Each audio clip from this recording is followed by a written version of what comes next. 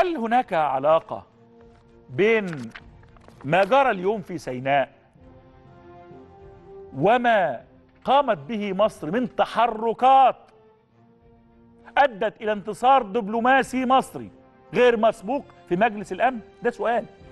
هل هل تحركات مصر خلال المرحلة الحالية فيما يخص القضية الفلسطينية والمشروع المصري أمام مجلس الأمن وهذا المشروع اللي حاز على موافقة 14 عضو من مجلس الأمن واستخدام فيتو أمريكي فاضح ورفض مصر استقبال نائب الرئيس الأمريكي. وامبارح قلت إنه ضيف غير مرغوب فيه وغير مرحب به فقام اعتذر وأجل زيارته لنص يناير القادم.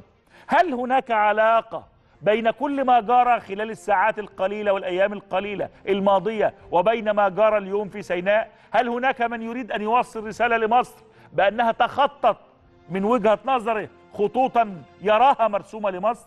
أقول للجميع مصر لا تعرف الخطوط الحمراء. مصر دولة لا يملي عليها أحد سياسة. نائب الرئيس الأمريكي لما أجل سياسته أجل زيارته ليه؟ لأنه مصر الدولة المصرية ممثلة في قوتها الناعمة في شعبها في إعلامها قالوا ما تجيش. مش هنستقبلك. أنت غير مرحب بيك. وأنا قلت امبارح هذا الكلام اضطر في خزي دبلوماسي إنه ما يجيش. أجل أو غيره أو لغى. وموقف مصر امبارح في مجلس الأمن والتصويت الأمريكي الفاضح. والله أنا كنت متعجبا من واحد موجود عندي على الصفحة وسايبه عشان أشوف إيه.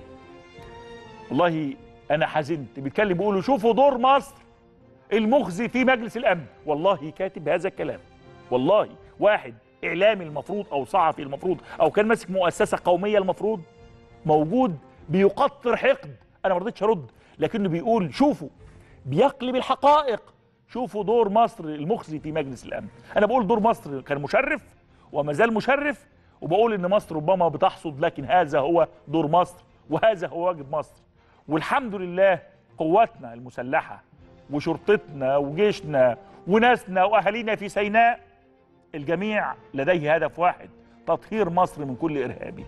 ما جرى اليوم كل تعازي لأسرة الشهداء وكل التهاني ل إنه إنه ربنا سلم وأنقذ من يعني تم حمايتهم برعاية إلهية وعناية إلهية وحنكت ويقظت قواتنا المسلحة في مطار العريش اليوم.